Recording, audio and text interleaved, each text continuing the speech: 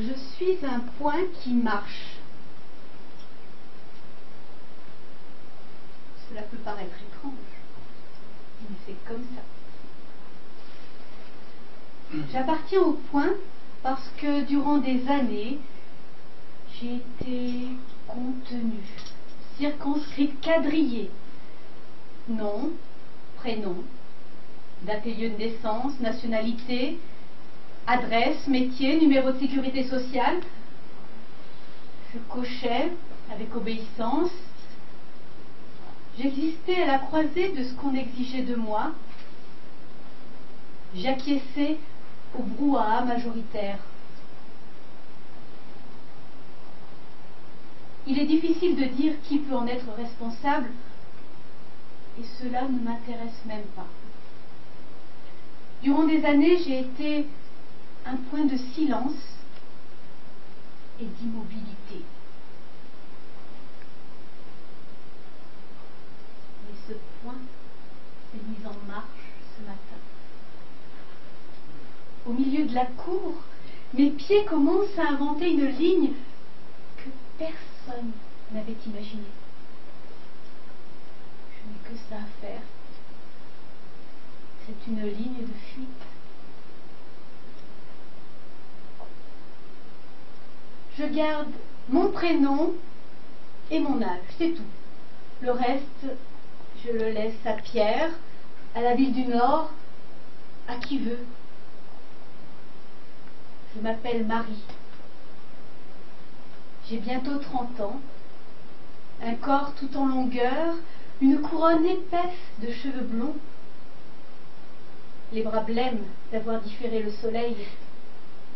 Et je marche, cap au sud, poussant par devers moi les vieilles mémoires, une brûlure de 18 hectares et toute ma colère vivace comme chien dent. Il doit y avoir quelque part des falaises blanchies de sel, de l'écume vive, des champs que griffe la vigne ou l'olivier, et je les trouverai certainement. Le temps de la torpeur est révolu. Voilà ce que je clame face au matin de la ville du Nord. Et la cour de l'immeuble ne peut qu'acquiescer dans sa grisaille. J'avais pensé prendre l'avion ou le train. Mais lorsque j'ai quitté la cour, il était clair soudain que je ne pouvais m'en aller qu'avec mes pieds, puisque j'étais dépossédée de tout le reste, mais je me tenais debout, enfin. Alors, je soutiens que je saurais flairer le sud, sans ces cartes routières que je n'ai jamais été fichu de comprendre. Dans l'enfance, il y a presque mille ans, je n'ai connu que lui, gobant tout l'horizon, désignant la seule direction possible au-delà des montagnes.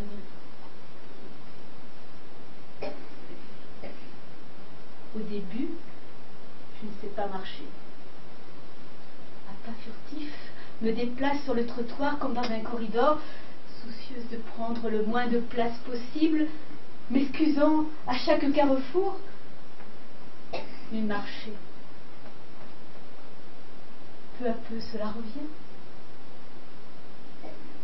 Les pieds poussent, insistent, entraînent dans leur sillage les genoux, les bras ballonnants et les cuisses arquées autour du pubis, s'ancrent dans le sol, s'y écrasent et s'y déplient pour déclencher le rebond, tandis que je regarde les traces qu'ils laissent dans la poussière des rues. J'énumère cheville, talon, orteil, et à chaque pas, c'est une bascule, un engrenage et un miracle qui m'emporte avec souplesse. Je suis capable de ça, m'en aller, avec mes pieds, pour seul complice.